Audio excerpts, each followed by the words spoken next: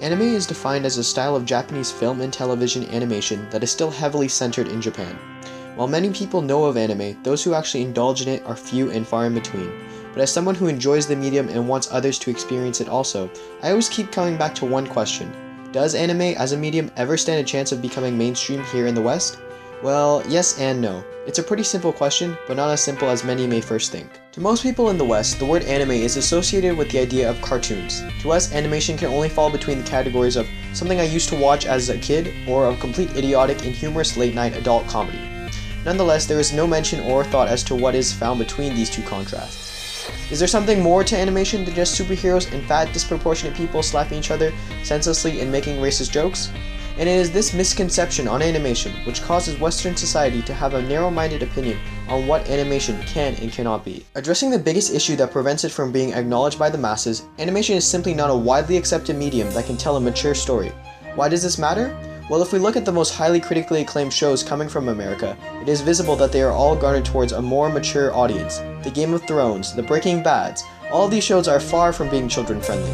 However, for anime to ever stand a chance of ever being acknowledged by Western society as a viable medium of storytelling, it is this huge untapped audience here that will do it.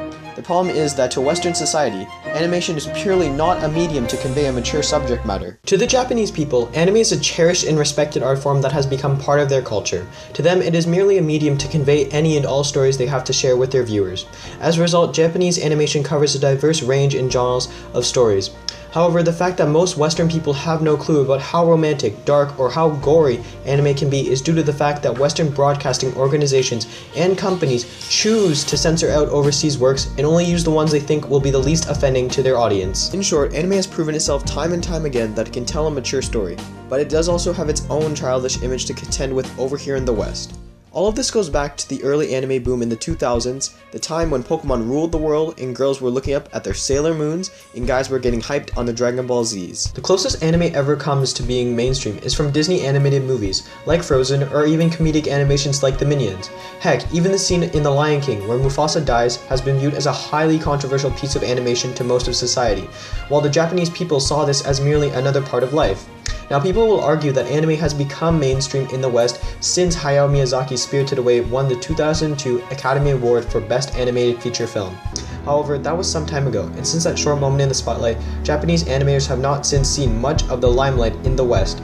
Sure, they win big overseas, but the fact that most people only know the name Hayao Miyazaki supports the fact that anime isn't as popular over here as people make it out to be. As a result, Japanese animators are now more focused on if their work will sell overseas because they want to make more money. This fact goes against the Japanese ideology of not needing to censor or tone down their works because they do not see anything as being deviant to society.